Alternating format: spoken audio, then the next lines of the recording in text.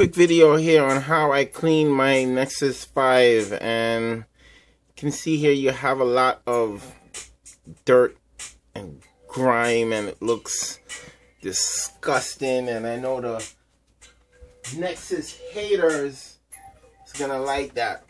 So what you can do, you take a micro fiber type cloth, you know, everybody got a small one, and you could just start wiping. And you can see it pretty much does a good job in doing it.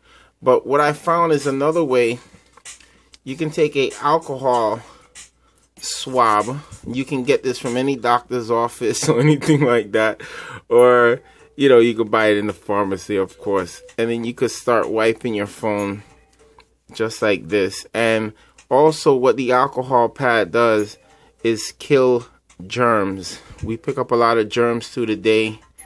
And, you know, you drive with your windows open, you pick it up on your face, then you put your phone against your face. And it could be disgusting.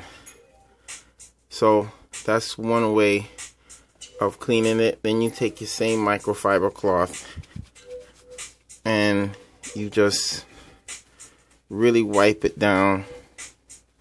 And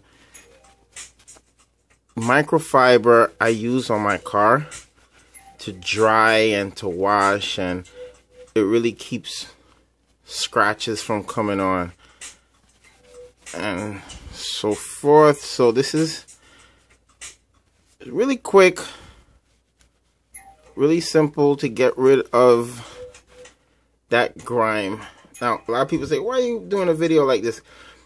Yo, you gotta admit, you see some people with really grimy looking phones and stuff like that. And we should clean our phones and our devices. So you can see, nice and clean. Nice and good. So, microfiber cloth, little alcohol wipe to get rid of those germs.